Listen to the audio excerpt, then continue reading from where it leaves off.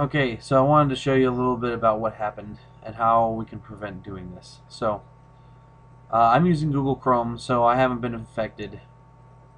But uh, there's some cross-site scripting on this website right here. So I was looking for a way to fix and rig up uh, some antenna ideas for my new router. And I saw this windsurfer. I heard some things about it. I wanted to read some more about it. So I clicked on the picture and uh, this pop-up came up and mindlessly thinking sure whatever okay whatever. I shouldn't have but I did. And then boom it looks like I'm infected and it looks like it's doing a scan and it looks like it's found a whole bunch of Trojans and all these bad things. And I thought oh and then the pop-up came up. I wanted to read what was going on behind it so I clicked on this guy and tried moving him. And right then I got a download. And I thought oh that's not right. So uh, I wanted to do an X I tried going back and saying leave the page, and that actually worked. Well, let's get back to where we were here. This is all fake. And what people need to understand is that it's a complete website. All this is is a website right here. You can see the URL. That's the website for it. And if you uh, use some of Google Chrome's development tools, you can see the different parts of the uh, web code right here. And if we do a quick search here for on-click, because that's usually a good way to get people to download what you want them to download, everything on here that is down that is a link of some sort, like you can see right here, there's some links. There are on-click uh, functions that call the download function. I haven't been able to see what the download function does, but we can look that up real quick too. Download function. So right here's the download function and uh, it calls something from the uh, download.php. So this website looks like it's actually been uh, infected by some cross-site scripting. Uh, so it's actually inside the website that's causing the problem. It's not necessarily script that's laying on the top layers. This PHP is run on the server. Uh, on the server, and then you can see what else that's what it loads. Here's some rest of the functions, setting things to visible, hiding some things. Uh, it's just a mess. And then here comes the file that it's doing. All this this big mess down here. Uh, that's not going to work. But basically, it's just a website. A lot of people don't understand that it's just a website. And by not clicking, by clicking on anything, even the X button, Google has prevented me from doing this too many times. So let's uh, let's show you what this URL is like. Actually, let's go back and do the whole thing from the beginning. So copying the URL that I got, let's do Internet Explorer, because that's usually a pain. So this should take me to the exact same place with all those images. Yep, there we go. So let's see, it looks like it was the second windsurfer picture that got me in the bad spot. Yep, and there we go. Windows Security has found a critical process activity on your system and we'll perform a scan. And then you're like, okay, whatever, you're going to scan my files. And then notice right here, we're still in a browser. This is just a website. Windows 7 does a really good job of preventing this kind of stuff, but it is not easy to prevent this stuff on Windows XP, which a lot of people still use. If we go to my computer, you can see that my computer looks much different right here than how this looks. So making sure everything's still working. Windows 7, it's easier to spot these things, but uh, unfortunately, when you're running Windows XP, this security alert window with the little firewall icon and this shield, it really looks legit. And a lot of people have done this and installed it accidentally. So I'll show you here what happens. Let's say I want to move this and look at, oh, right here it says that uh, Internet Explorer says, oh, it looks like something tried downloading. So that's easy to click X. Let's say you want you think it's a real window and you want to exit the window. Now it's actually trying to download. So it's trying to uh, download an executable. If you run this executable or if you just click run or save and it winds up running in the background, you're going to install this. uh, I call it ransomware. It's it's a program. You can call it a virus, but uh, it looks like an antivirus software, and it holds your computer ransom. It keeps saying that you're infected and won't let you do certain things until you pay $20 or whatever to the company that wrote the program. And then once you pay them your money, you can uninstall it, or you do a scan and you think you're being protected when really you're not. It's really important to understand your uh, antivirus software that you've got going. I run Microsoft Security Essentials, so it's a lot easier to. Uh, it's fantastic and it's free, so I really like it. It does a good job with malware as well as viruses. And you can see that I'm, I'm doing a full scan just to make sure that I haven't been infected with all the clicking and testing I've been doing with this. I've been reading a lot of the code, seeing what I, uh, what does and doesn't do, and kind of going right up to the edge of almost infecting my machine, just so I can help people know where to stop doing things and to stop clicking. So the most important thing is to not click, period. Because right now, nothing has been installed on this machine, nothing has been run, and uh, nothing is maliciously being executed. However, you can see here that these are hyperlinks. If I click on one of these, boom, I get another download. If uh, I wanted to say control panel or something silly like that, uh, even the, the X button is is hyperlinked. If you wanted to say remove all, you're going to get the same thing. And also, coincidentally, if you hit the cancel button, the exact same thing. Uh, how the way we looked at Chrome here when we did the uh, on click I won't uh, bore you with everything that I found, but pretty much anything that's a hyperlink has got JavaScript on it. Uh, on clicking, uh, and anything that's on click is uh, running this download this download function that's trying to install. You know, so click the download function executes. It's trying to install this. You can always say cancel, but a lot of people just click on run anyway because they think that they really are uh, they really are infected. Uh, I don't know about some of the older versions of Windows, but I'm really sure that you never get any of this flashy crap. This is JavaScript, Blink, uh, HTML5 Blink stuff. This is CSS usually.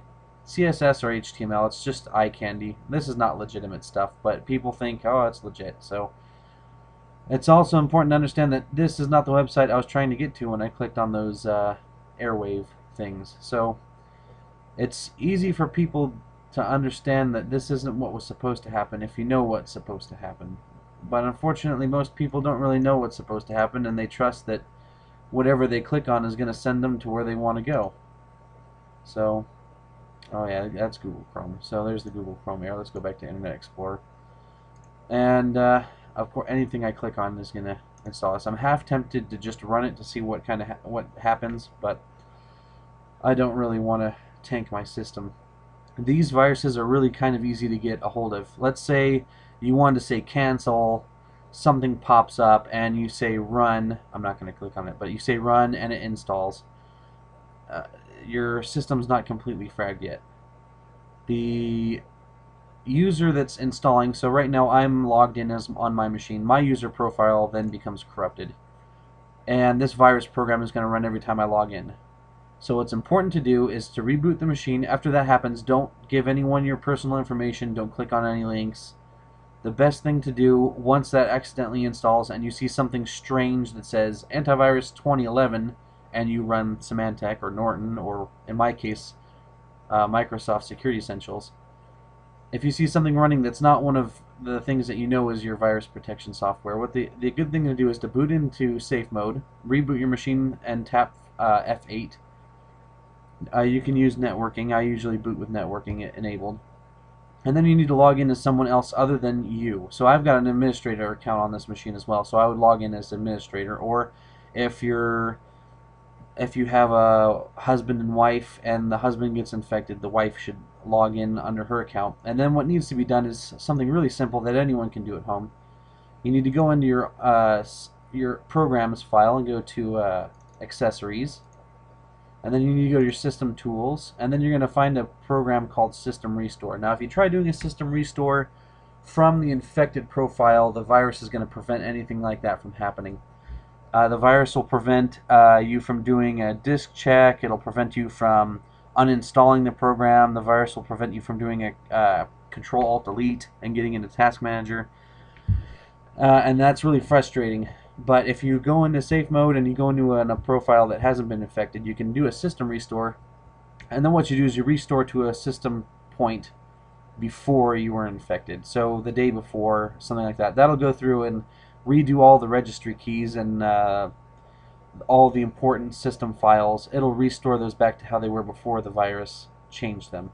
Now I've noticed in the many machines that I've tried fixing, if you tried clearing the virus off by another way, like a, a very powerful antivirus system, or maybe even more powerful than uh, Microsoft Security Essentials like Nod32 or, or uh, some Linux software, if you try going in there and ripping this thing out, it leaves a lot of registry keys stranded. And what happens is that a lot of things don't work the way they should anymore.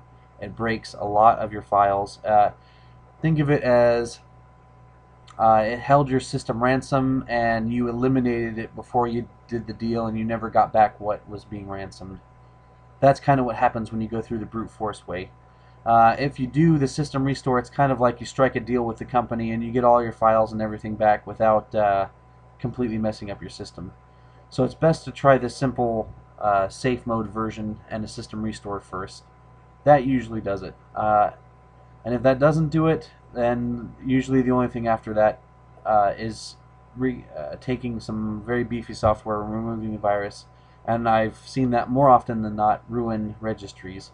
And at that point, the only thing you can do is try backing up as much as you can copy to an external hard drive and then uh, reinstalling your operating system, which takes a lot of time and money, and uh, you wind up losing a lot of things that you didn't want to lose, like pictures and music and that kind of stuff. So this is just a little thing to help uh, people understand that the there are a lot of these cross-site and uh, redirect websites that try getting you to do something that isn't smart and winds up getting you infected.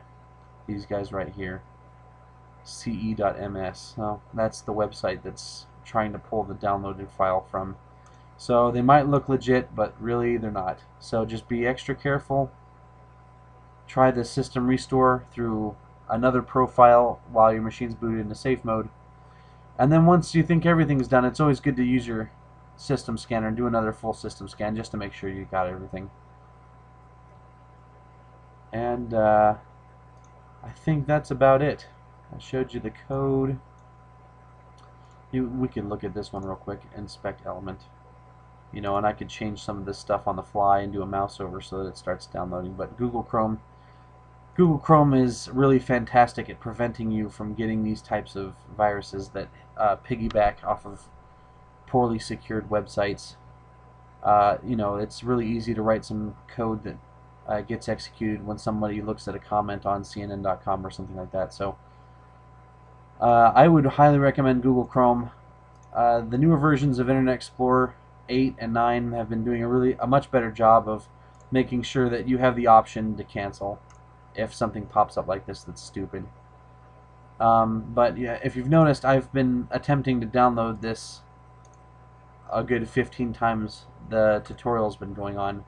And Internet Explorer hasn't warned me about, oh, this is strange that one website's trying to get you to download something multiple times.